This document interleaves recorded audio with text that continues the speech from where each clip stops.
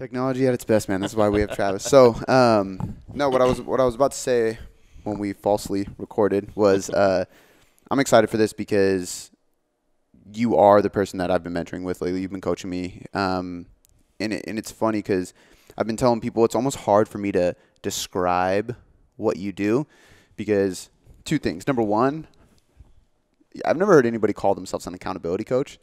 So when I say that, people are like, "Huh?" And so like I don't use that.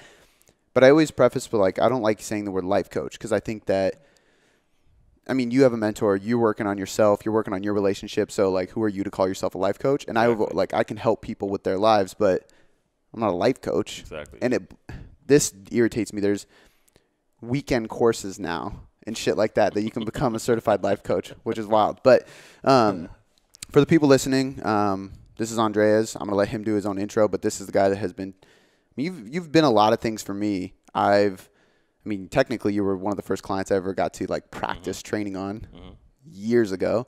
Um, I thought you gave me a great tip. It wasn't a tip. It wasn't my money. Um, it was my boss's money. Um, you, I watched you go through a lot in your life that we'll be able to share today. That was really inspiring for me. Um, I had tons of advice from you over the years. I mean, shit, from the age I was really 19 years old when I first started till now. Um, you helped me buy my first home, sell my first home, buy my second home. Um, you've watched me have my first child. Like it's been pretty crazy. Like when I actually like reflect at how much you've seen of me. Um, so this is really really cool for me just because of that and because we talk so much and you know so much about me. So I'm excited to share you with the people that are listening to this. Um, so for the people listening. Tell us who you are. Tell us a brief introduction because we're going to dive into your whole story today. But like, tell us a little bit more about who you are in a nutshell. Um, well, I mean, who I am. I mean, uh, I'm a father. I'm a husband. Um, um, like you said, an accountability coach, and that's that's an interesting way how that came about. Um, over time, I've, I've people have reached out, asked for advice and mentoring, and, and how do I do this, or or how can I accomplish this. Um, so over time, it kind of just, in a sense, created itself. Um, the actual growth of La Tribu, which is the group of, of, of my, my accountability uh, group, which translates to the tribe. You say it so much cooler than me. I say La Tribu. So La Tribu came organically. I can honestly say that it was organically, and and I think it was a testament to who I was essentially kind of made to be from the people that had influence in my life, um, and really feeling that it's an humbling experience to for have people to reach out at any given time. So the difference between accountability coach and life coach, I'm 100% with you. That when people are like, "Oh, so you're a life coach," it's like, "Well, I'm not." Well, don't you help people with their lives? It's like, well, yeah, but so does the bartender that's giving you a tip on something at the bar, Yeah. and he's not a life coach. Yeah. Um, so to me, the the accountability coach was the simplest, I guess, way to say it. Um, to where essentially I'm I'm just here to make sure you do what you're supposed to do. That's really what it comes down to, right? And I always say this saying as far as what my definition of an accountability coach is, um, and it's you know that it's not my job to hand you the map, right? Um, on one part, it's my job to help you find it, but the most important thing is I'm here to make sure you read it, and that resonates with a lot of people. It kind of simplifies it um, to the point where they fully understand. I'm not here to give you every direction in your life. Um, I'm not here to say do this and don't do that. The your life runs its own course. I'm here to guide you. A lot of experiences that I've gone through, a lot of experiences that I know people have gone through and how they've made it past. So that's my description of an accountability coach, seemingly who I am. How do you explain the value in that to people who maybe don't get it or haven't had a coach? Because I think like I've ran into the the conversation of because like w- when people ask me about what I do, it's very easy to explain. Oh yeah, people hire you because you're a coach. You hold them accountable because they want to lose weight or because they want to change their Right, body. right. Whereas like when I tell people what I invest in, I've been investing in some kind of an accountability coach for years now. It's like so you just pay to get on the phone with somebody and talk to them. I'm like, well, I mean, but it's not really that. And I mean, obviously we do more. We meet once a month. We talk twice a week. I text you throughout the week. We do different things, but sometimes it's so hard to explain like how much value I get out of a 30 minute conversation with somebody and how that helps me change the things I do in my life. You know what I mean? Like how do yeah. you explain that to people that it's it's honestly it's difficult Um, because I get that too. The well, so people just pay you so you to talk to them. You say you're not really there to guide them. So what is it you're you're going through? I I find the power in that from my own experience, where whatever things that I've gone through in my life, I've always had somebody that I can count on to open up to, and they will not think negatively or positively of what I'm saying. It's more of I'm here to listen, and I'm also here to make you understand where your actions might lead you, pretty much. So in a 30 minute conversation, there's times, and you, you can attest to this, that we don't really even talk about numbers or did you do your exercises this week or did you do you know your dates with your wife this week and all that. It's just more of where are you in life generally? And open opening the conversation. And that really to me is a testament to my mentors that I can pick up the phone and dive into something that maybe I wasn't even really planning on diving into but because subconsciously and inside I feel comfortable enough to talk about it. Mm. And I think that's the trust and more importantly the respect that should be between a mentor and a mentee or a client and a coach. Do you have like a, a game plan that you go into the calls with? Cause sometimes I think about this too when I mean, I don't now because it's such shitty weather in here in Seattle. But you know, like I used to like every time you call, I'd be on a walk. Like, mm-hmm. and I used to remember like stepping outside and thinking like, I have no idea what we're going to talk about right now because I don't have something on my mind necessarily that I'm like. Sometimes I come on the phone, I'm like, like I know exactly what I want to talk to you about. Right. But other times I, I'm like, man, I feel good. Like I don't, I don't really necessarily know. And then something else like comes out of that conversation, or it ends up being an hour long conversation because like mm-hmm. get something gets drawn. Do you ever have like a, like a motive, especially like we talk Mondays and Fridays. Mm-hmm. So is there ever like a theme to that? Like when you step on the phone, or is it just natural? Honestly, it's natural and I think that's the true power of of having the connection with the coach mm. or or with a mentor. Um, I rely a lot on, and we've had discussions on spirit, like my spiritual life, right, with God. So to me, I do have a routine for myself, and it's always a simple prayer of just open the door. That's really what it comes down to. Mm-hmm. Is just open the door to where if it's 30 minutes, there's value in the 30 minutes, and you know, to me, over life, I've come to understand, as we've discussed, my passion and my purpose. And it sums up to I'm here to help and I'm here to serve. I really feel that that's my purpose here on earth. So having that mentality leads me to say that if I have a five minute conversation with somebody or an hour long conversation, that they walk away feeling better about themselves or at least wanting to be better. So my routine usually before any coaching call is literally a two minute prayer, and it's just asking God to open the door for communication, connection, and result, which is what the whole purpose of it is. Let's let's like I have I think I could probably embark down this path, but before I do, I think we should backtrack because I'm going to start picking apart the coaching process. okay. But I want to tell the people how you got to that point. So, okay. so before we dive more into the coaching, um, let's talk about how it all started and, and really go as far back as you can because okay. you've had like I mean, even just like it, it always blows. Like I, I learned stuff about you when we just did that. Uh, you came and spoke right. to my team for the coaching development right. thing. And there was even things about your past or your history or like your businesses and the charity stuff. And I'm just like, holy shit. I had no, I, I went home and told Shannon, I was like, you have no idea how many like people are affected by the charity. Cause I knew you had like right. a lot your hands in that, but like thousands of kids. Mm-hmm. I did no mm-hmm. idea. So, um, and it's always been that way with you. Like I remember going to like Geraldine's for breakfast, and I would like learn something new about your past, and I just be like, "Fuck, this guy's done everything." So, um, I would love to like kind of pick apart the whole mm-hmm. journey, man. Like so, like go back as far as you can if you want to, like, even your childhood, because I know like that had a big, a big uh, influence on you it, giving yeah. and stuff like that. Yeah. So the foundation for me for giving, honestly, just came from ordinary days in life growing up with my family, uh, with my with my with my parents and it was always that it was kind of like a tug of war that I felt really good about what my parents were doing, and at the same time, it was kind of like, when are they going to stop giving and give us more, kind of thing, right? But early on, and and my my, my brother and my sister can attest to this, that it was always just that's just the right thing to do, and that's for years. That's just what's just the right thing to do. But why? I don't know. It's just the right thing to do. That's what I was taught.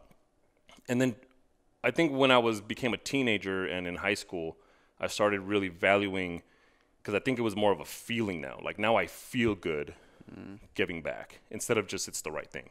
A lot of people do things just because it's the right thing. Yeah. But there's no intention, there's no meaning behind it, and that's why I think they're not one, they're not consistent, and two, they don't really truly find who they are. Do you think that actually like so like one thing I told somebody was that it's uh selfishly being selfless and what I meant by that was like I recognize how good I feel when I give. So part of me gives just because I Mm-hmm. Right. feel good, which sounds selfish because it's for me, but it's also selfless because I'm giving so much. Right. Do you think like recognize that just allows you to just do more, I guess, Hundred percent. hundred percent. And I think that's that was a turning point for me was when I kind of came out from under my parents' shadow, because all that time I was giving because they were giving. I mean, it was their money, right? I didn't have a job. I didn't, you know, Mm-hmm. Yeah. I didn't have a car to drive and go volunteer myself.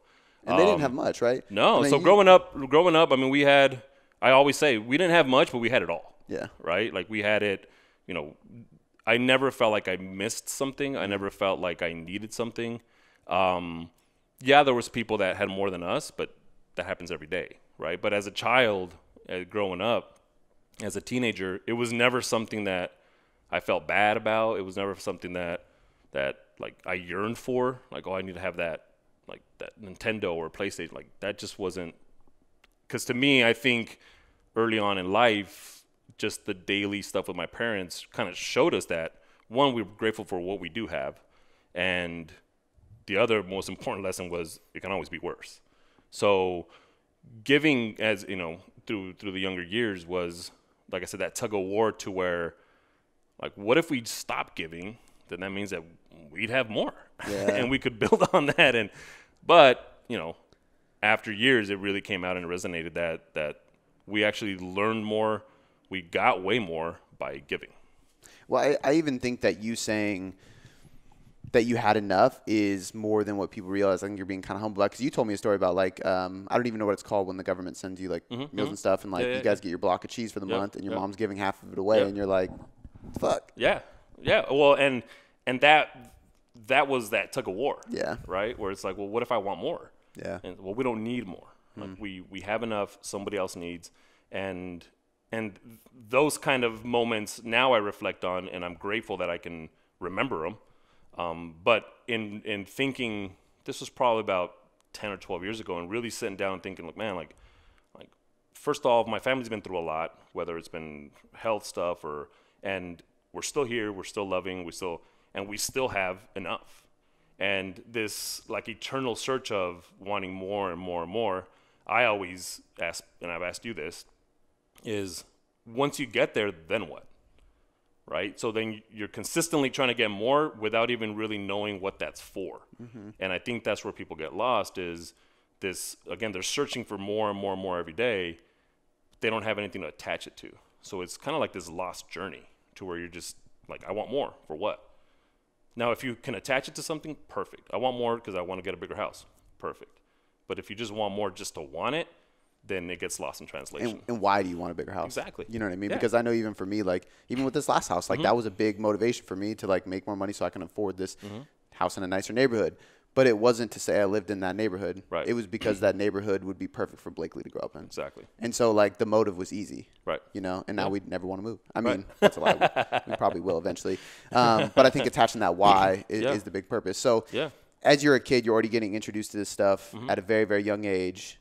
And and it's funny because I think about like my childhood and I'm and like we didn't have a crazy amount, but my dad was the president of a company. So he made really good money, but he was Mm-hmm. gone all the time because of it. So my mom stayed home and raised me. Didn't see dad too much until they split up. And then eventually I became like close to my dad again. Um, and now we're really close. But I remember having like almost like money issues because it was almost like money was evil. It's like, oh, money tore my parents apart. Like Right. money, my dad chose money over me kind of Right, thing. right, right. And I, it was all subconscious. I didn't know. Until I started like actually it was until I forgot my first mentor and he was like I want you to start journaling and I was like journal like, and sometimes I even feel like on the phone like you're Right. like a journal that talks back to me Right. kind of thing you, you know what I mean but um but I think I started picking apart at like my history and my story or like why do I why do I have the ceiling of how much I can make and like Mm-hmm. why do I have the ceiling of how many clients I can take or or the relationships I can have and this like kind of this uh the Big Leap talks about it all the time, and I'm trying to think of what it's called. It's a great book, but it's basically self sabotage. You have this like upper limit, Right. um, and money was one of those things. But um, back to your story, like this, you're young when this is happening. So how did that develop into your Mm-hmm, So, teenage years? I know you went through some like kind of troubled times, Yep. and you got out of that. So so yeah, I mean, essentially that was I can 100% say that the constant of that or the consistency of seeing that time and time and time and time and time again, it, it really like anybody else, right? It shapes who you are, right? Um, the actions, what you do. At times we were told to do it and we just had to do it because mom and dad said to do it, right? but also I think the accountability, coaching, and the mentorship was seen at an early age for me with my dad, right? So my dad was always the one, even till this day, was but he was the one that a lot of my family came to for advice, for support, for help in anything. Um, and the simple fact of him, I I don't think I've ever heard him say no, right? And there was that again internal struggle where, like, what are we doing this weekend? Oh, well, I got to go help your aunt with this, and I got to go help your grandma with, It. and it was kind of like, man, like, again, w- why are we second fiddle? And and there was some resentment for a little bit, um, but over time, it's just that's just who mom and dad are, and the power of seeing who they are and who they you know kind of raised us to be, and how it came back to how people respect them, people are there for them now, and it really is this connection of like I'm I've given you, so you're gonna help me in the time of need. So, you know, I leave I leave home, uh, graduate, leave home, and now it's on me, right? Because now like my parents aren't telling me to do anything. My mom wasn't calling me and don't forget to give, and it was just the norm now. So, you know, I attest that to the growing up in that environment. I attest my spirituality to growing up in that environment.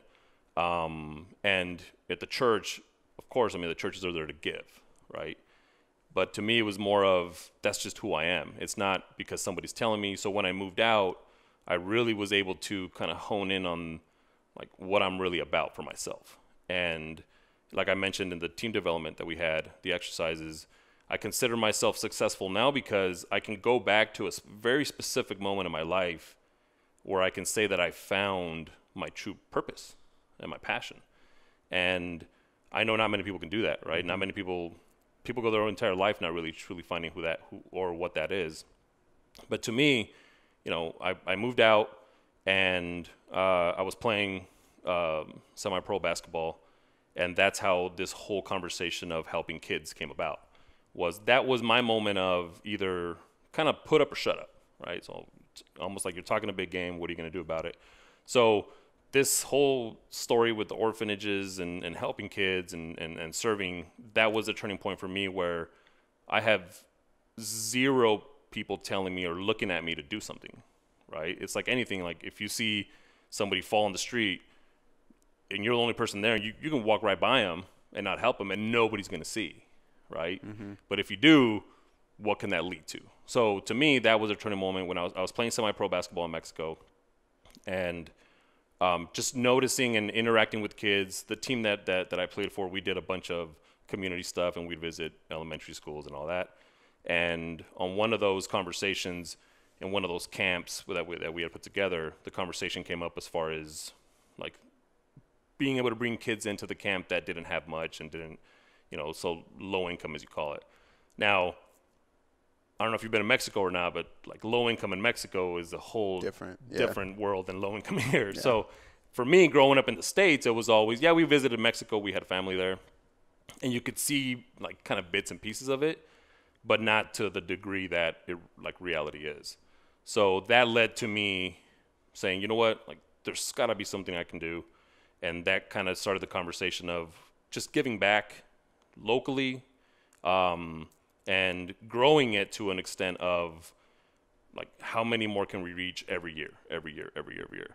So that kind of took care of my, I guess my 20s, if you want to call it that, as far as ages, to where we started something, we started a project there, grew it for a little bit, had the bumps like everybody does, um, and then like, okay, what can we do somewhere else? And doing stuff here in the states, or I mean, I grew up in El Paso, Texas, so doing stuff in El Paso, uh, doing stuff in Denver, where is where I was born, um, and just really trying to affect the community, really. And and I think there's power in doing stuff where you can actually see the result in front of you, as opposed to donating to a certain cause. Now, do it. You know, I'm, Yeah. not, I'm not saying one's better than the other. Uh, I'm just saying that for me personally, the experience of seeing my labor, if you want to call it that, or my time that was invested, like actually seeing it grow, or, or I mean, as simple as if I donate a dollar and it fed one kid, like I'm seeing that kid being fed right now. So there's there's true power to that. Um, and expanding on that was more of just again finding myself. It was kind of like a periodically thing. It's like i found myself exactly i knew what i had to do. And then there was no stopping at that point because it was just how do we how do we do more? How do we do more? How do we do more? And coming full circle where conversations with my parents again it's it's this weird way and, and I, I hope i can be that way for my kids to where there was a lot of unspoken lessons with my parents right that now i look back and say man like they never really said it but they like i have it so clear in my mm-hmm. mind that that's what they were trying to like that that was their intention to teach. So that's my mystery if you want to call it for for my kids is how can i be that dad that shares those type of tips or or meaningful moments without i guess saying it really So I want to dive into like where the charity is now because I think Mm-hmm. you just kind of teased it and it's just at a crazy level. I actually didn't know you started at such a young age. Um, I'm going to date you. How old are you right now? i'm 41 So you've been doing it for almost 20 years or Yep, 20 years? exactly 20 years yeah Dope. Um, okay, so before, so I have a question about like grit in general, and then about like how you got into entrepreneurship. But the Mm-hmm. grit one is it, it first came up because your dad, like you grew up and your dad was already that way. right So to you, that's just the way to be. Do you feel like because your dad went through some hard times to be here and to to raise his family Yep. in the states and stuff like that? Do you feel like experiencing those things? And the kind of the reason I bring this up is because there's a lot of, and we've talked about this, like Wake Up Warrior. I was a part of it for a little bit, um, and I love what they've done and what they've created. But there's so many like two things. One, they're pretty hardcore, Mm-hmm. and two, there's so many like I don't want to say copycats, but I mean essentially Oh, yeah. like people doing similar things, and you see all these like, for lack of better terms, fake ass boot camps where they're just like throwing guys in the mud and shit like that, and it's like, what are you really doing? right But I do believe to an extent there's also value inside of like pushing yourself to that point. Like I remember even doing like Resurrection Week where there was like things that like made me really uncomfortable. It kind of hurt, but like it provided such a valuable lesson Right. that I wouldn't take it back. Like I don't think you should embarrass people by like right right right to that extent. But do you think there's like a there was a point in your dad's life and then you experiencing that and seeing that? And I think that kind of goes into the charity thing too. Is like mm-hmm. I would never wish poverty up- upon somebody, but when you see poverty, it makes you grateful and and be able to like just be more enthusiastic about creating change in your own Right, life. Does that make sense? Oh yeah, and and I, and I think you know knowing the story, for instance, with my dad's story, and and it, and it's crazy to bring that up because I just I just saw him two weeks ago.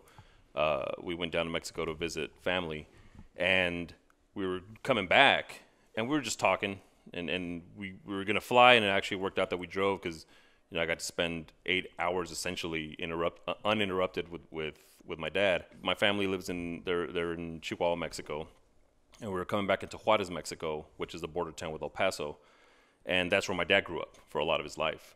So we're coming back into town, and he starts sharing these stories that I've never heard, right? And he's like, "Oh yeah, you see that train track?" It's like, "Yeah." He's like, "Well, you know, I once, you know, like 100% transparency, he came over here illegally, right? And he got caught working at a, a mechanic shop in El Paso. And so what he would do is he would come over every day. So he would go from Juarez, cross over in the morning, work, come back. The next day, cross over, come back. And one of those days he got caught. So he said, so we're driving, and he said, yeah, you see that train track? I like, yeah. He's like, man, I had to walk that train track one day in the middle of the night. It's like, and this is the outskirts of the city. and he and he shares. He's like, well, they they did a raid at the mechanic shop. They picked me up, and they were shipping us back by bus to a city that was ten hours, let's just say, to to be approximate, away from the border, because they knew that we lived in Juarez. So they were trying to send us to a place where it was going to be difficult for us to get back, Right. right? So I guess the bus stopped at some checkpoint where there were military checkpoint or something. So my dad asked to get off, go to the bathroom, and just ran, right? So I'm sitting there, and we were actually at that checkpoint, and I'm looking to the side, and I'm looking at this, just this railroad track, and it's just, I mean, it's into like it's the desert, right? So it's like it's going into darkness, and and I'm trying to think of one, like that's crazy, right? Two, the situation and what you're up against at different times, right? And and you either he could have easily just sat on the bus and said, I guess I'll see how I can make it back. Yeah. Right. Or, or the moment of just acting on it. Now's my chance. Yeah, now it's my chance. So the the, the funny side of it was he said I, he's like I actually didn't. My intention wasn't to run. My intention was I'm gonna go to the bathroom and then from there figure out what Yeah. happens. So I guess he went to the bathroom. When we walked out, he peeked over the side of the restroom wall and he saw the train track. And I guess some other guy that was on the bus with him also was waiting in line for the bathroom. And they, I guess they just looked at each other, and the guy said something like, I'm going if you're going. and then they just booked it, right? So he said it took him, you know, like four hours, three and a half hours to get back to how to the house and all that. I mean, at least he had somebody to this. walk with. Exactly. So to me, like that's one of the stories, right? But yeah, you know, I, I think growing up and, and hearing the stories of my uncles and my aunts, my grandpa, right, sharing stories of my dad and the struggles and and it just added to kind of like the legend, if you want to call it Yeah. that, right? To where like, oh yeah, your dad did this, and oh man, your dad helped us out here, and oh man, if it wasn't for your dad, and if it wasn't for your dad, and if it, and, and then you start, it just resonates every single time to where I can go back right now and meet somebody at the church that they go to because it's happened, and just like, oh, and he'll introduce me, oh, this is my son, oh, nice to meet you, and then my dad will walk away, and then the first thing out of the mouth is like, man, we really love your dad. Like, man, if it wasn't for your dad, like we wouldn't have done this or we wouldn't have done that and we can always count on your dad. And i think that helps now to really connect the pieces of my whole life and the upbringing and really truly stay like that's exactly why i'm i am who i am. Yeah. right? and the grit of it i think it adds to it. And i also believe 100% that like unless you see it firsthand or unless you experience it firsthand it doesn't have the same effect. Mm-hmm. And even now right? Like if you're driving down and you see somebody that's homeless and struggling there's i want to believe that everybody has it in them to feel like the empathy side of it right? Like oh man like it's cold out. Now whether you act on it or not that's up to you. But if we really truly understand our purpose and what we're here for um, i want to believe my goal is to believe that everybody has it in them to serve in whether it's with time whether it's with money whether it's with just helping somebody going through a tough time. And that's what kind of keeps me going is attaching the story of the struggle my parents went through early on to the struggle that we went through as a family and now paying it forward to whoever might be going through that now. I think too, like even if you don't see it firsthand, if you if you if you have somebody in your life that you absolutely trust who mm-hmm. has, because you can take their word for it, and it's mm-hmm. just it, it resonates at a deeper level. Right. Because there's certain things that you've shared with me that I'll never see firsthand, but it still has that effect on mm-hmm. me because, and I, I guess like the whole point to me is just like that grit or that grind or what somebody has gone through, what you you have gone through. It just makes everything else seem not that bad. Like, Right. it, and it, it becomes easier to change your mindset of like I have to to I get to. So like when people say like oh just don't say you have to work out, don't say you have to journal, like say you get to, and it's like okay that's kind of cheesy, but when it you- is. it is, right but it's so true, and, and I think it becomes way easier once you see the other side yeah, or you know Mm-hmm. people who have. And I even told you the other day, like even like with personal development, I'm just like like why wouldn't I work on myself? Like why Right, wouldn't I right. invest my time to try to just be a better person or realize my faults and work on them and stuff like that? Um, okay, so after that, you you're in your 20s. You've had all these uh, revelations and lessons and all these Mm-hmm. things from your upbringing. How did entrepreneurship get into this? Because you're you're playing basketball. I got to imagine like anybody other athlete, you're going to go pro. That's going to be your career. right right right right right But at some point, you shifted and you've dude, real estate, yeah. charity, I think restaurants. I think I think for me actually again it goes back to my dad. yeah. right? So my dad, my dad worked at this uh, at a dairy plant there in El Paso for 30 plus years um, until he retired.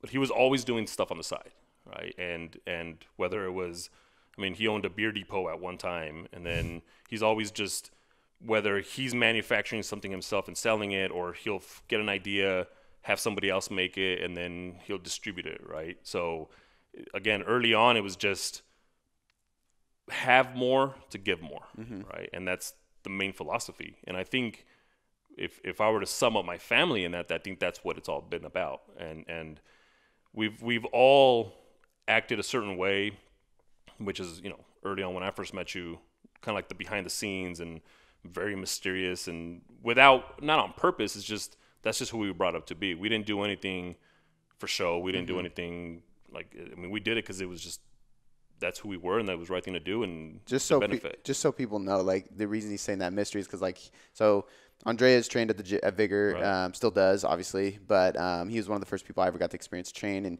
he trained there all the time, and it was always just like. Because you would even train like we had like group cod stuff, but you would you for some reason were able to do your own thing. Right. And, like you had like this little time, and Right. like you were work like one of the only people working with the boss, and Right, like and. I was always just like, man, what the fuck does this guy do? and like I would have a short conversation with you, and there was so much like wisdom and and just like intellectual lessons that were provided, and like your conversations with people were always like positive and. And you came at weird times when, Mm-hmm. Right. you know, so I was always just in my mind like, this, like, what is he doing? I say like the guy from the Dos Equis commercial, Right, right. The mysterious man, but um, or the most interesting guy. Yeah, and I think and I think that was that was always my way of of working. You know, essentially just do whatever has to be done, right? No matter if somebody sees it or not. Um, but the bigger picture for me was always just work's got to get done. So the whole mysterious thing and all that came, I mean, without wanting it. That's just how I pretty much carried myself, and and and I wouldn't say I was like intentionally like every day like okay I'm gonna go do this, but I can't make sure that they don't see me and all that.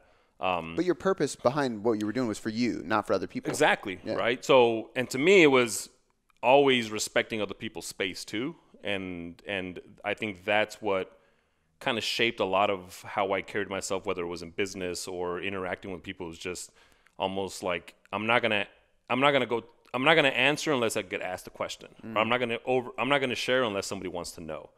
Um, I I'm that way, right? I'm the way that like I'm not gonna just I'm not an open book. I don't expect you to be an open book. Now, if the comfort level is there, I'll share. And I think that's where having that intentional conversation with yourself of if I'm really here to serve and help people, I've got to that connection has to be there, and it has to be there without a lot of words, right?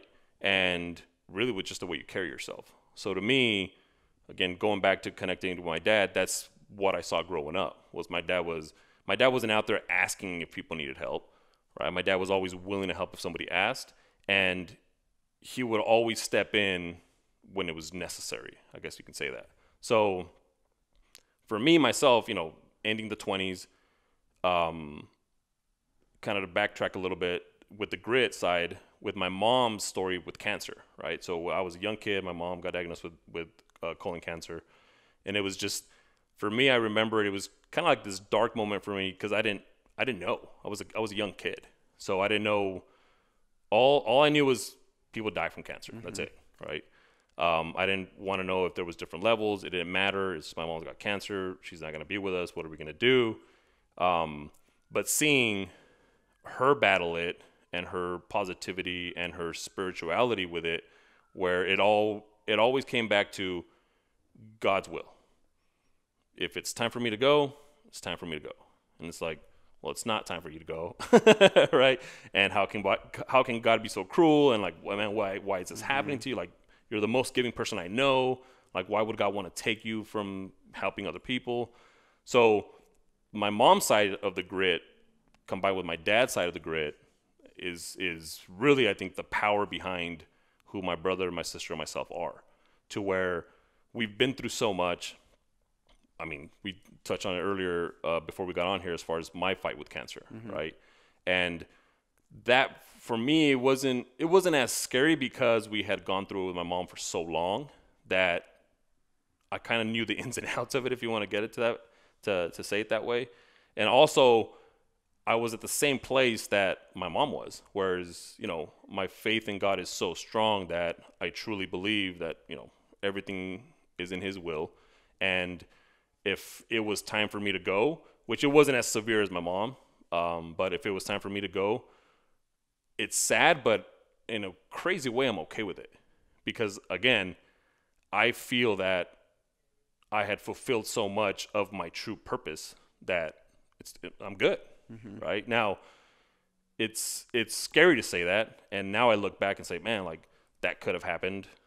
What what would have happened if I would have been gone? Like man, like this, people would have been affected. People, but in the big scheme of things, my faith is so strong. I can honestly say that, and I'll repeat it over and over again to people that ask that I'm okay with. I would have been okay if that's just the way that my life would have panned out. So, for me, having my mom still with us now, right? I mean, you're talking 30 years now, um, with some side effects of, of, everything she went through. That's a testament in itself, and it only strengthens my my faith to know that that happened for a reason. You know, some people got closer to God because of that. Some family members, some family members made up because of that. Um, people were touched across. She's touched many people with her testimony.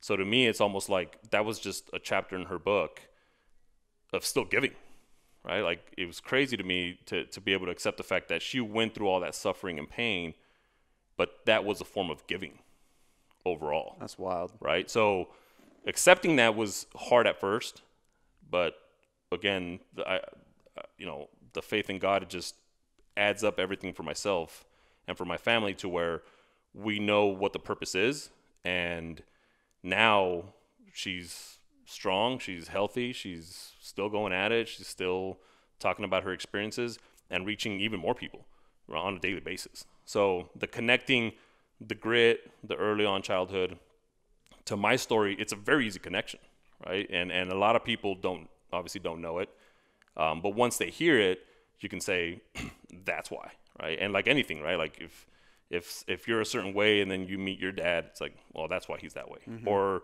or you tell me that your greatest influence was your grandfather, you know, then I meet your grandfather and it's like, okay, that's why. So you can kind of start putting the pieces together, excuse me, of how people are shaped in life by different experiences and relationships that they've had. So, and that was so you were playing basketball in your 20s. Mm-hmm. Mom went through cancer in her 20s. In your 20s. Yeah, well, yeah, teens and 20s, yeah. Okay.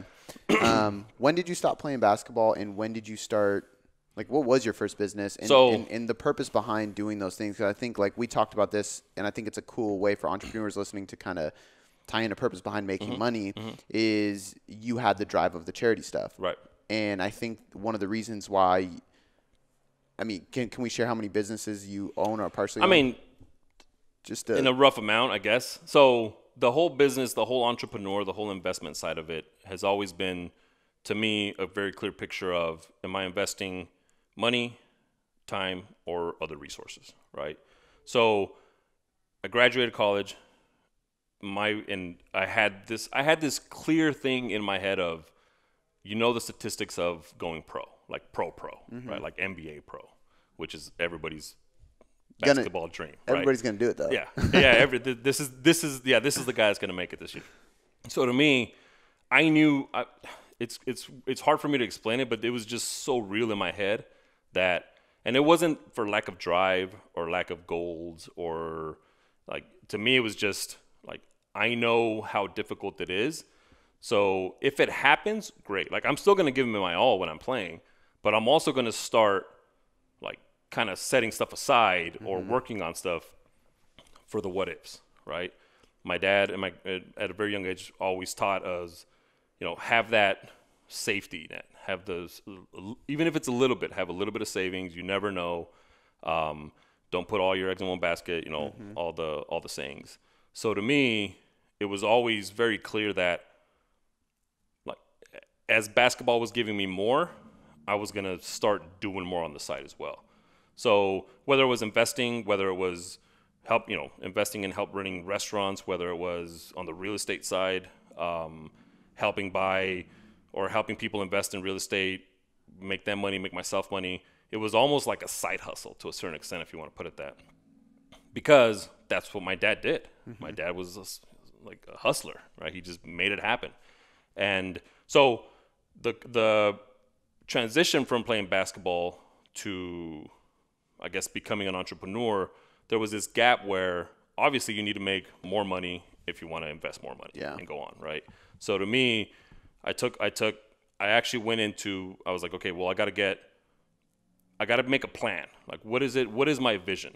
So at the time, I didn't have really a lot of experience when it came to like leadership and running a team, running a company, any of that, right? Because the whole time, I mean, I had leadership skills from being the captain on my basketball team, but right. That's only for a certain amount of time. So I embarked on this thing. I said, okay, look, like I'm gonna stop playing. I'm not gonna renew a contract.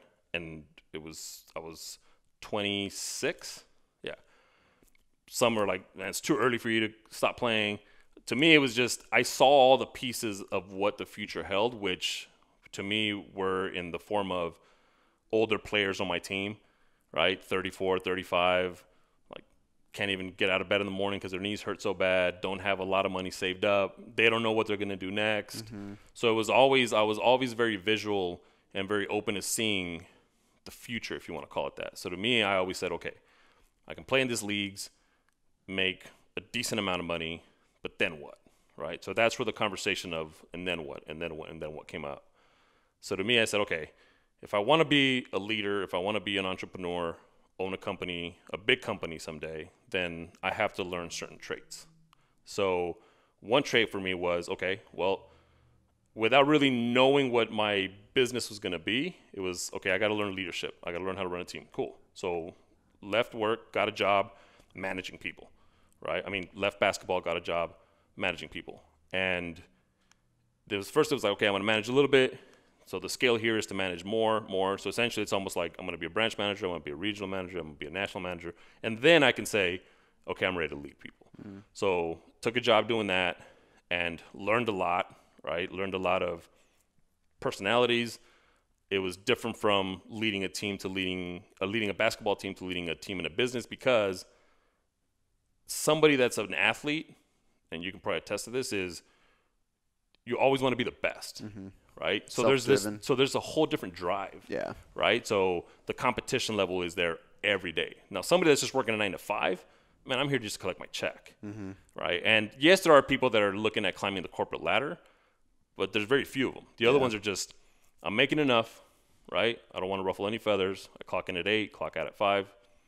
I'll see you tomorrow. So that to me was eye opening because I came from this environment of like everybody's ready to kill it right? So now the leadership skills were developed from having, you know, employee A that doesn't really want to come to work, right? Doesn't really want to do more. So okay, how can I get him motivated to do more? How can I get him to to want to do more, really, right? So that's where that initial leadership, I guess, came from, which led to okay, like work there for a couple years. Now it's time. It's time for me to do my own thing. What am I going to do? And real estate was always a constant. Uh, I learned from when I was a teenager. I had a really close uh, relative that did real estate, and I always saw, you know, I like to say it, the bright lights and the fancy cars, mm-hmm. and um, and it's like that's it. That's the gateway. Like that's what's gonna. But there was also this conflicting side of him that he wasn't a giver. So to me, it was a scary thing. If I fall into that environment, am I going to be that way? Yeah. Right. And it's like, well, I don't. And then there's part of me that's like, well, I can change that. Like I can I can be that one guy that actually does both. So left that job, said, okay, you know what? I'm gonna open my own business, whatever. So I started on early on with actually funny story with landscape, mm. right? So I'm gonna do a landscape company. Why? Because I can find the guys, right? And there's always business in landscape, yeah. right? I mean, that's, you know, my, my grandpa used to always say, there will always be people that need two things their lawns mowed and uh, funeral caskets. so he said, if you want to make money, either one of those two things, you'll make money. And oddly enough, my grandpa used to do side jobs doing doing gardening and all that. So so I started that. Um, It's kind of funny too because like my I remember my dad growing up, he used to always say something similar, but it was always about oil.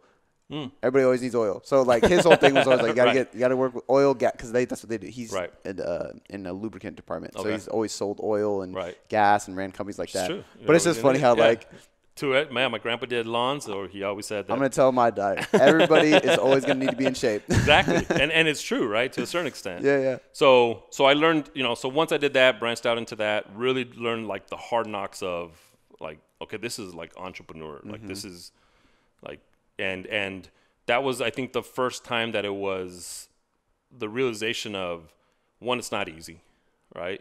Two, if you don't work, you don't eat, Yeah. right? And if you have employees, if you don't work, they don't eat. Yeah. And I think that's like man, That's the big one. That's the big one, right? Like I can always kind of fend for myself, but if I have somebody else depending on it, Mm-hmm. and in conversation with you know with with some of the La Tribu members that are business owners, like that's underlying. It's not really like at the forefront. It's not like you're thinking every day, like man, if I don't do this, but in conversation and really bringing out what their like main stress provider is, it's that Yeah. right? It's the fact that you have a responsibility because people have they believe in you for one. They've stepped out of the norm, came to follow you, and now what?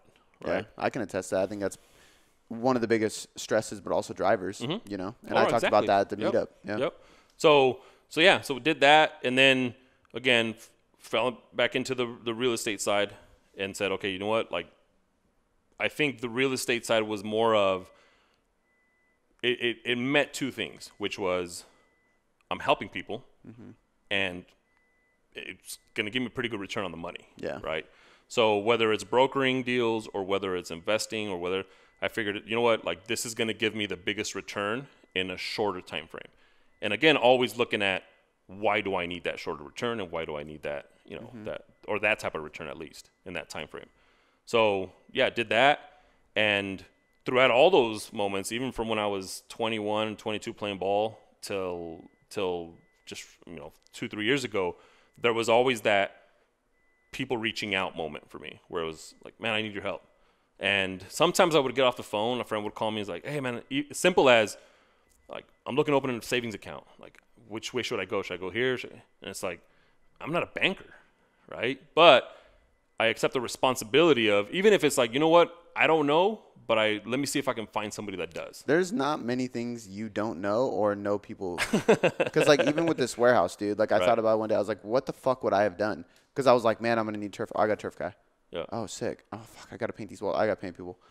I need rubber mats. Go here. I got these people. That I'm like, what? Like everything. and You here know we are. Yeah, and here we are, man. Everything and I got think, together. And that's a good like example of of like purpose behind just doing things Mm-hmm. because you don't make money off of any of this stuff. Right. But I think like maybe even subconsciously you know that this is a building that allows me to help more people. Oh, yeah. So if you can affect that help, it's like it's just that spider web. You know what I mean? Well, it really it comes, and and I think you know we defined it um, a week before I had the the team development session with you, where you know we were talking about the key word, like who is it that I want to become, what is it that I want to Yeah. do, and it never resonated until I was talking to a good friend that like I think my life journey is to consistently build a longer table, right? And and what does that mean? It's you know the longer the table, the more people can sit at it. So in in, in whether it's to eat or to hear or to learn, whatever it is, right? That they get affected in a positive way. So to me, I've I've been able to capture, I guess you could say, not only the giving spirit or not only the selfish being selfish, but more of the I truly want to impact everybody I come into contact with in a positive way. So yeah, for you, subconsciously it was one. First off, it's I'm gonna help help a friend out, right? Mm-hmm. You were like, I just literally don't know where to go. Like okay, and yeah, it took time out of my schedule. Like, hey, got to get there, or even with you, like they don't have a key. Can you meet them there? You know, all that kind of mm-hmm. stuff. But the long the long goal here, the long term goal here is the impact that this place is going to have, right? And even in the house, right? Like, well, you, I need somebody to paint my house. Cool. Like, I'll find somebody for you. And is that really serving a, more people and all that? Probably not, right? But it's serving you. Mm-hmm. And if I can pay that forward to you, then subconsciously you'll pay it forward to somebody else, and then it just again there's a longer table. Yeah. So accepting the fact that my goal of building a longer table isn't necessarily like I'm physically reaching out to all these people, but I'm reaching out to certain people that will reach out to certain people that will reach out to certain people, right?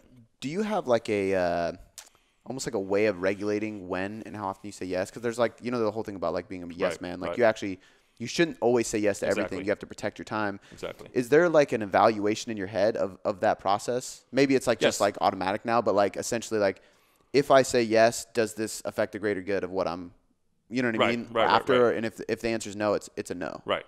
Well, and I think, I think over time I was that, and you know, there's a good book called uh, Give and Take, right?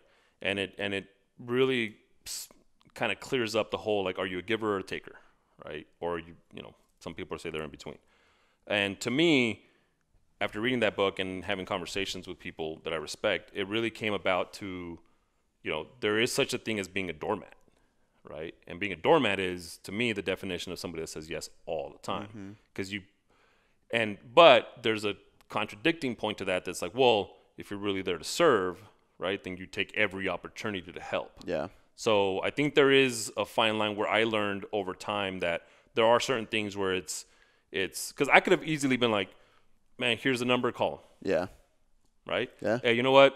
Here's five numbers, work it out. Yeah. Right. I mean, I could have honestly done that.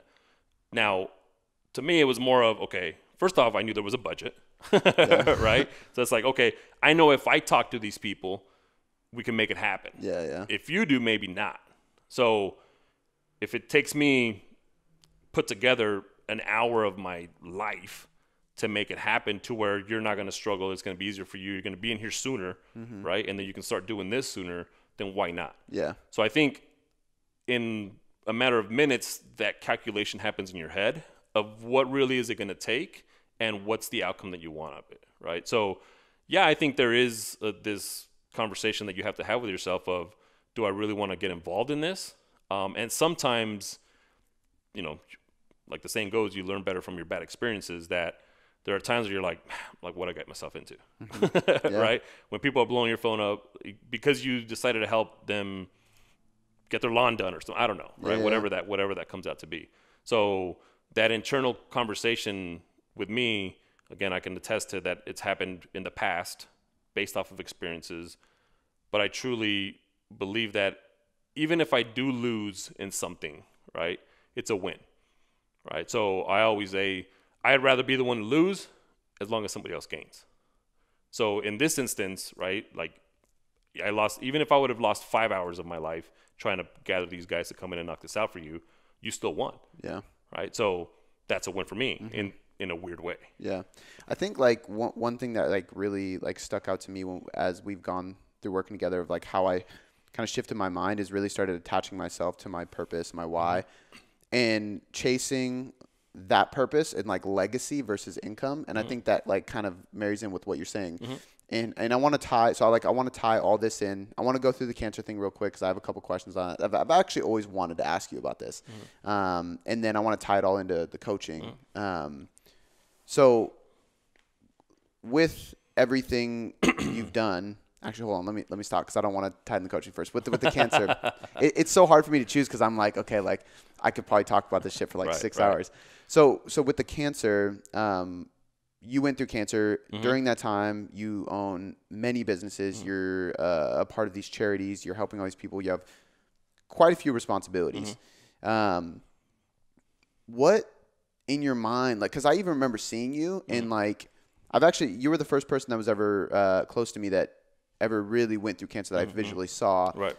And so you almost like get like this, like I uh, like I think it was when we were going to meet at Geraldine's, and I'm just thinking like, what's he gonna look like? Right, right, Like, right. fuck, am I gonna like Right. notice right away? Am I gonna be shocked? Am Right, I gonna like, you know what I mean?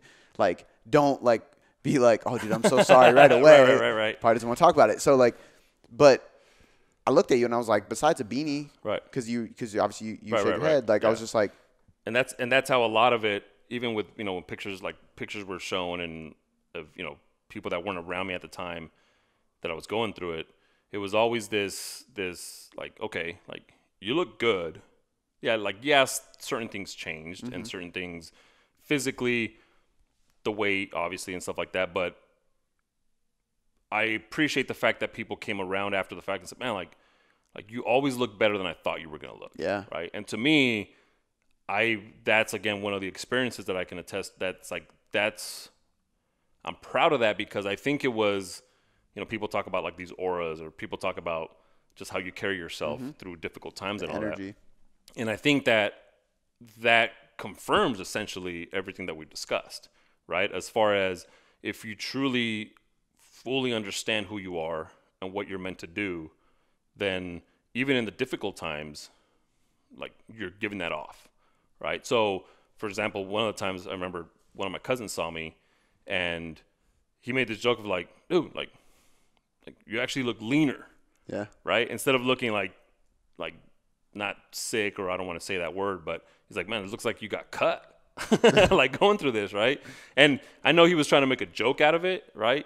But it was again in a, in a weird way of him saying that like like I was I was okay with it because it was almost like he didn't feel like he had to worry anymore about Yeah. it Yeah. right? So to me, that consistent battle, and it was a battle, man. Like like I'm not gonna say it was all perfect and it was all you know unicorns and rainbows, right? There were the the dark times, there were the the positive times of seeing how you can positively affect somebody that's sitting next to you getting chemo at the same time um, by conversation, by sharing other experiences. With me, I think the most powerful thing that I shared to them when I was in those rooms was my mom's story, right? And and it was funny because as I would get into detail with that, they were actually waiting for me to be like, and then she passed away, right? Like after Yeah. 20 years, right? So it's like, man, she did this, she lost her colon, her part of her stomach, her small intestine, her large intestine, this, and it's just like, and they were literally like, and they even there were even times where people were like, man, I'm so sorry for your loss. Like I'm so sorry. She sounded she's or she sounds like she was a great woman. And it's like She is. she's still in Texas right now, right? So I think it really is the power of how you say things and how mm-hmm. you carry yourself. And you and I have had countless discussions of of when it comes to leadership, especially in a business and all that, is like you have to be true to who you are, right? Because the fakeness is going to end, mm-hmm. right? So if you really want, whether it's to motivate people, help people accomplish goals, help keep them accountable, whatever it is that you want to do, like you have to be that first, right? And the you know the saying of you, you can't give what you don't have Yeah. is the simplest way of saying that to where I've been around people to where at the beginning it's like, man, yeah, they're great, they're great, they're great, and all of a sudden it's, oh, what, what was that? Yeah. And then it's like, oh, there it is again, mm-hmm. and there it is again, and now the pain, the picture you had painted early on is smeared or has melted away because the true person comes out. Unfortunately, growth can change people. Exactly. I think like, and this is not like uh, I don't say this to impress people, but to impress upon people. I think one of the reasons I have had a success is because I've been really good about never changing that. Mm-hmm. Of like why I do all this has like it's why this says remember why you started. right. Mm-hmm. Like there's never been anything different about what I do. It's just always the same shit. Um, and and I think the bigger thing with that is that I think you've had that pretty clear, Mm-hmm. and at times you've forgotten it, mm-hmm. right? And Oh, that's yeah. where like stress comes in. Like, oh man, like, am I really doing, or should I really take this next step, and or should I really make this other move or whatever? And I think when people start one accepting the fact that that's going to happen and that doesn't mean that your purpose and your passion or your purpose isn't clear mm-hmm. it's just that something else is in the way right now Well, and I think like as you grow, and thing, things have to adapt. Things have to grow. Things have to speed up. Responsibilities come into play. Right. Mm. And I think they challenge your purpose, right? They test your purpose, and that's when you have those moments. And and that's part of the reason why. I mean, I can't even believe like when I think about how much money I've spent on like mentoring and shit over Mm-hmm. the last three or four years, it's fucking insane. But just the fact that every time I have those moments, or even those periods of time where it's maybe unclear for, even if it's a week or a month, like where I'm like Mm-hmm. dancing on that fine line, I have somebody to kind of pull me back constantly. Why'd you start this? Why'd and, you start and this? And that's the important and that's that's the the clearest way of, of explaining i guess the value of having that person yeah, right where it's not really it's not really for the good times yeah, right it's really for the the the not only the bad times but the times of of being vulnerable and actually being to say man you know what like it's not that i'm scared of this but it just i just feel really uneasy about this or being upfront with man i'm struggling with this Yeah. like i keep having Well, e- trouble with this even like um, I shared this with Shannon. I was like, there's been times as a husband that I've felt uh, like I've been disappointed in my own actions and felt alone. Mm-hmm. And then talking to people to be like, oh no, man, like I've been there, I've Yeah. done that, or I've Yeah. made that mistake, or like, oh yeah, other members talked to me about this too. And then like it doesn't make it okay, Right, right, But right. it at least makes me feel like, okay, well, a, I'm not alone. B, it's it's like I can fix this. like Right, I can right. work on it. You know what I mean? Not like oh, I'm a lost hope. Right. Um, okay, one more thing on the cancer, real quick, is you mentioned um, you mentioned like accepting Right. that if it was your time, which that thought scares me, but right, right, right. but I understand what you're saying. Mm-hmm. But at the same time, did you just know that it wasn't? Like, did you just because people talk I about think- like belief and the placebo effect of like talking yourself through yeah. that? Oh yeah. Oh yeah. I, I I think I think early on again, right? That conversation of or the first like you got cancer, right? It's just like okay, right? So to me, the first question was what degree, mm-hmm. right? And then it was more of okay, in a crazy way, how is this going to affect the people around me, mm. right? Even if like the I, I I didn't start processing the fact that I had cancer until after I was like, man, how am I going to tell my family? How am I going to tell my mom?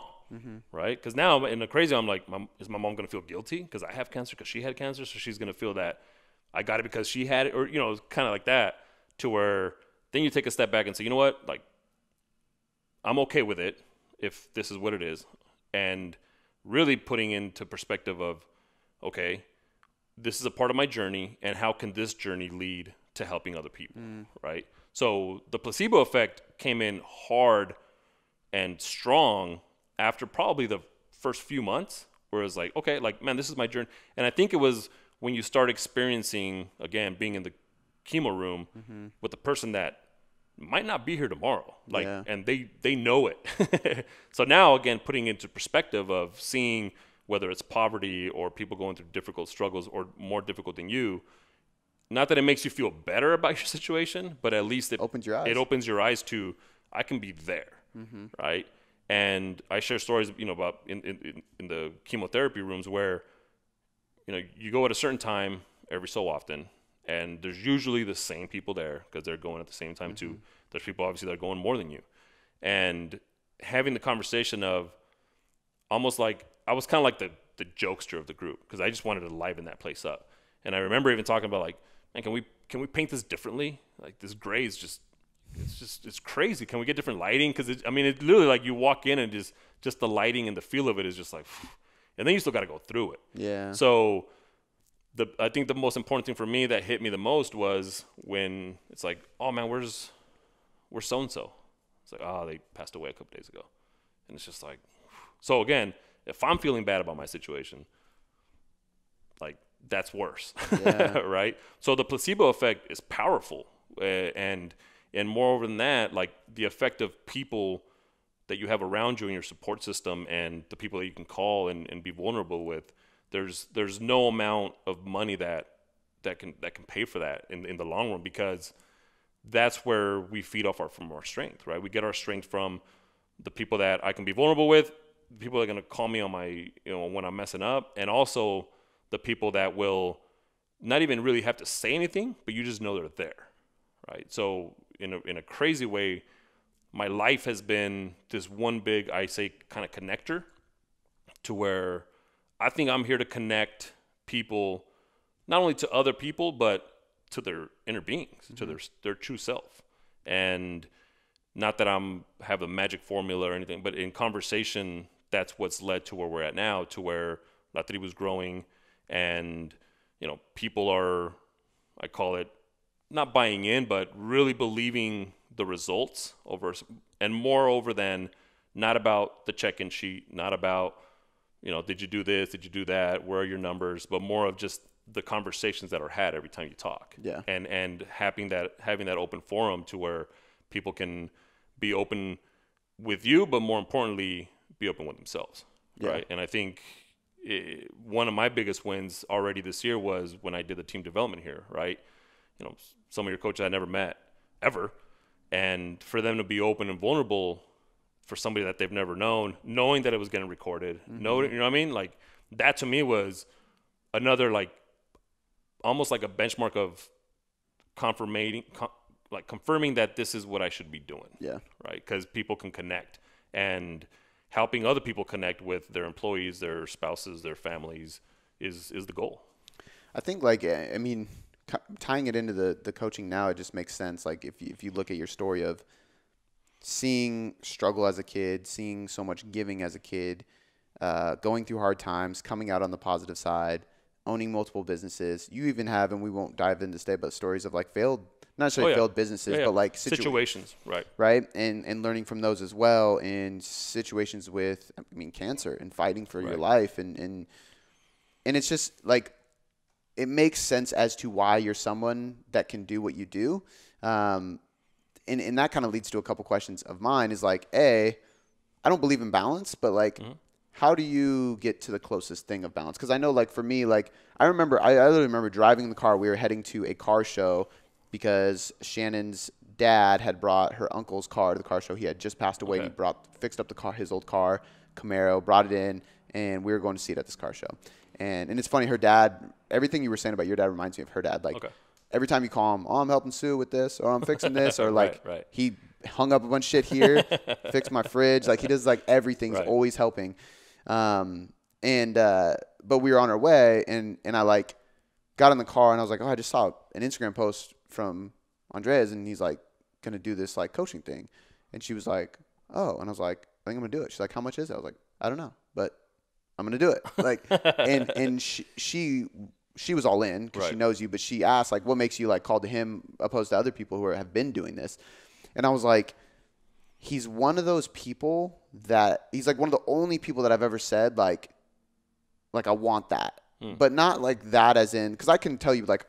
That guy's got a business like I want. Right, right. That guy's got a car I want. Right, right. That guy's got a relationship with his kid I want. But never am I like all of that, right? Right. Like, and you're somebody that I can look at. It's like not only do you have like, I think having it all is kind of like a fantasy right. thing, but like y- y- to me, like, and it may be because you're my role model, but like you're the closest thing to having it all, and and in a way, it's like everything's always okay, and that's again a fantasy. Everything's not always okay, No.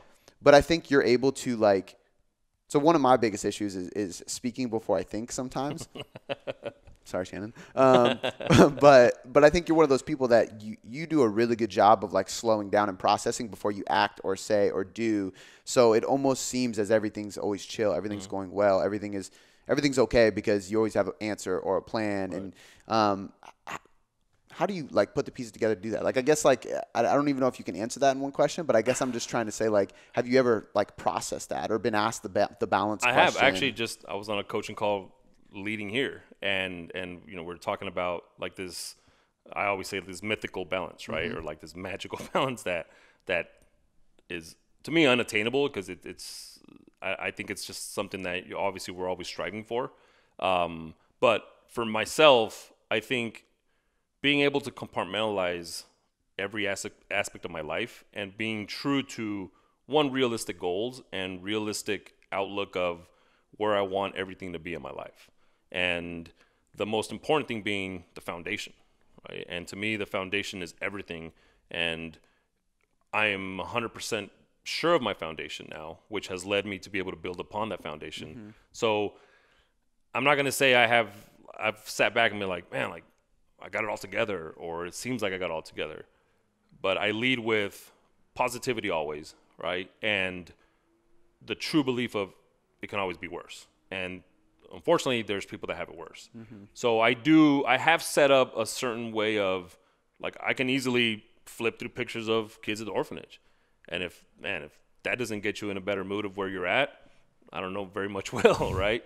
So I, I, I do have these moments of, in which I posted a couple days about, about like who I am, right? And these moments of, because I get that question, like, why does it always look like you're on? It always just, like, nothing phases you, nothing. And, and, in a crazy way, I think it's all of the experiences, all of the shaping, and really honing in on like if I were to show or if I were to not feel like I'm balanced, then I I, I can't give that. Right? So if my true goal I'm continuously working, whether it's balance with my wife, with my kids, with you know, contacting my parents, with my brother, my sister, and there are times where I sit back and it's like, oh man, like I haven't talked to my brother in a, in, a few weeks. Like that's not okay. and okay, what am I going to do to fix that? Mm-hmm. Right, put him on the schedule for next week or whatever. And even though he'd probably be like, so now I'm part of his schedule, you can't just call me. Yeah. But it's like, like that's that's my way of making sure that it gets done. Yeah. And that's my way of making sure that I don't go another two weeks without talking to him or my sister. Um, so I think, in a I guess short answer, if you want to put it, there is no formula for it. It's just always trying to put your best foot forward. And really, if I think if you lead by serving, it'll all come back the same way Yeah. right? So I think you know, and and and to me, again, I'll repeat it: my faith in God um, allows me to step out, you know, in by faith to uncharted territory, uncharted waters. If I'm ever feeling, you know, another question I get is, what do you do when you feel like like either something's wrong or you're off? And to me, it's I read the Bible and I pray, and it doesn't mean that I study the Bible for hours. I literally can just read a scripture and pray, or I remember something my mom or my grandma told me and I pray. And that kind of just brings me back to a center or or or like a zero point if you want to call it that to moving forward. I think what I've noticed in my life and then watching you, it, and I always say like it, I kind of look at it like a game. Like everybody has their own character, everybody has their own weapon, and like Right. you use you use the tools how you want to use it to, Right. to win the game. Right. So like for me, like I think everybody that I've observed has something. Whether they call it like I know somebody has like uh, fitness, family, faith, finance. Somebody right, has right, right. like body, mind balance, body being balance business. Like there's all these different things. But if we really dissect it, it's like, are you working on your body, your health, your well-being, your your mind, your emotional well-being, your spirituality, your, your relationship or relationships, Right. and then something in your business or your Right. career, your passion, your journey. Um, so for me, like like putting myself in alignment with all those things every day is, is really what just keeps me on the same path. It's like, okay, I knocked out everything except something for my relationship. So how can I make sure I do that before I leave the house, or how can I make sure I do that when I get home, and and just having that constant reminder. Um, and I think that's really what people need to do is just have that reminder. For Well, and, and I think that's why you know, in thinking about how La Tribu came about, was one of my mentors saying, "Hey, like you're spending a lot of time on the phone with people. Like you got to make it a business." And like I know you don't, I know you're not going to feel okay taking people's money and all, but at the end of the day, like for somebody to be all in, they have to pay, right? And they have to feel that, like, oh, man, I'm paying for it. I got to do it. And second of all, you can do whatever you want with the money. You can, you can hand it out as soon as they give it to you, whatever. It doesn't matter. The point is that you have to make it a business. which some of it you do. Right. And second of all, it goes to like formulating, like, to me, it was like, but how am I going to get my point across or the goal that I want for La Tribu across to members? Mm-hmm. And that's how like the daily and weekly checklist came about was exactly that, right? To where, okay, if I were to go back through my 41 years of life, what can I say? Because essentially, I'm selling what I have, mm-hmm. right? That's that's my product. It's who I am, and and and that's just the way it is. So how can I put that in a chart if you're going to put it? Yeah. So literally started that way. Okay, what are my beliefs? Faith. Okay, so you either got to pray or meditate every day. Cool. It doesn't matter what you believe in or who you believe in. You got to do that. Family, check. Kids, check. Right. Uh, relationships, check. Journaling, check. Like all that. It's like if I do that, and I and I think at different points in my life, I don't think I was until I would say about ten years ago or eight years ago, I was actually doing it on a consistent basis to where I was checking stuff off. But if you were to go back through my life, there was certain times where like faith took over, and that just kind of carried me. And then my journaling took over, and I can pinpoint different times in my life where I remember exactly how that made me feel by doing those actions. Mm-hmm. And you know, one of the most important things on the list is the go giving, because the true goal of La Tribu is obviously to make you a better person for yourself and for your, but also to be a better human being.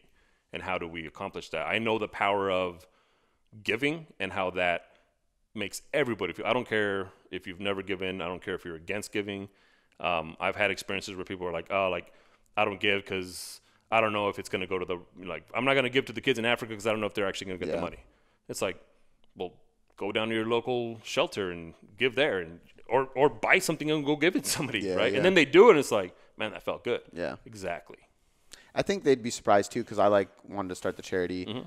I ended up on the phone with one of the, like the top people at the Chil- Children's Hunger Fund because they were like so thankful and Right. and I was like talking to the fucking guy and Yeah. I was just like, whoa, this. And I remember texting you. I was like, dude, this just got real. Like Yeah. now I understand and now I feel. And then I immediately had an idea. I was like, dude, we're gonna sell these shirts and I'm gonna raise more money. And we raised like over a thousand dollars in a week. And it was just like, that's crazy. Yep. But and it's all about the intention, right? Yeah. And I think that's what the checklist comes to be is, like you know, and and you know, obviously you've been through it, but I always tell people like, well, how much do I have to journal? It doesn't matter. yeah, it doesn't matter. How long do I have to pray? It doesn't matter. Like just do it. Mm-hmm. Like my my spouse touch. What does that look like? Do I have to write? No. It could be one word. It could be an emoji now. right? Honestly. and it's like, man, make it simple. So there's no there's no amount of what you have to do. You just have to do it and do it consistently. Well, and, and even like uh, we've talked about this. I talked to Shannon about this uh, one night when we were just sitting there talking, and like her love language isn't words of affirmation, but mine is. So my like appreciation to her really is never a note. When she gets a note, it's actually like my way of reminding myself. It's Right. it's like my gratitude for the day. It's like I'm gonna instead of me writing in my journal, I'm just gonna let you see it because Right. I feel better. Oh, yeah. And I told her I was like, it sounds selfish, but I do I don't do that for you. Like I do it I hope you enjoy it. Right, right. I do it for me. Like when I wake up and I like clean downstairs, I put all the pillows because like I mean you know how she is with decor. So like Right. I'll set the pillows up at the angle she likes, and I'll put the blanket where she likes, and I'll do the dishes, and then I leave so she wake walk like that's my note for her. Right. You know what I mean? Oh, yeah. like, Oh, and yeah. she feels that more than a note. Oh yeah. Um, and it, but it was again like going back to the coaching. It was being challenged to discover her love language, Right. being challenged to challenge her to discover mine, Mm-hmm. and then and like actually reading it and having some kind of habit tracker. Now I have all these check boxes on my whiteboard because Right. I, I work better with marking instead of yeah. like typing. So for me, like I have all those boxes of like what am I doing these ninety days. Um, so the last question I have on all this is just, and then we touched on this briefly, and I'm sure the answer is like you have many mentors, but what is like do you have a, mentor that has more of a relationship like you and I have and, and what does it look like because like to me it almost gets to a point where you're like how does like the ultimate men- mentor even have a mentee Right. you know what I mean Right, kind right, of thing right, like how does like that even work like does it change or like is it the same it's just levels it's just it's just levels. So I've had again compartment compartmentalizing everything that we just discussed. Like I have a spiritual mentor, right? Mm-hmm. That I have that I've, I've known him since I was a teenager, and in a weird way, he kind of shifted my way on thinking about the church, right? So to me, mentors are are because you you'll have people that you look up to every day, right? And people that mean to you for certain things every day. But to me, the true mentors are the ones that have shifted my way of thinking on certain things. So to me, on the spiritual side, he shifted my way on thinking of what I thought the church was and it should be, right? To where like the church to me was the building, and you go to church and that's it. Mm-hmm. Where he shifted to like, no, you're the church mm. Wherever you are, that's where church is. So wherever you're you're at, like whatever you do, what however you act, you're essentially, I mean, you're acting the way the church should act. So then my relationship with God at that point became much stronger because, like, the responsibility was on me now because I am the church.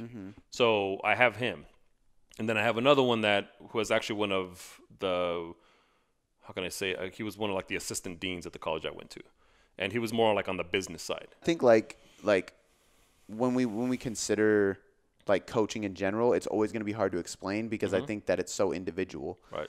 I, I even say this with nutrition coaching. People are like, well, what kind of like, what's your method? What's your what's your strategy? Like, which I was like, well, what's your problem? Right. You know, because that's really what it comes down to. Like, Yeah. it depends. Like, there's so many diets out there, there's so many strategies, there's so Mm-hmm. many ways I can do this, but that's the whole point. It's unique, it's individual. And we, we cater to you. We fix that no matter what. Mm-hmm. Um, and I think like even going back to like, you've had enough experiences to where damn near everything that Right. I've gone through, like you've been able to be like, oh yeah, I've been that.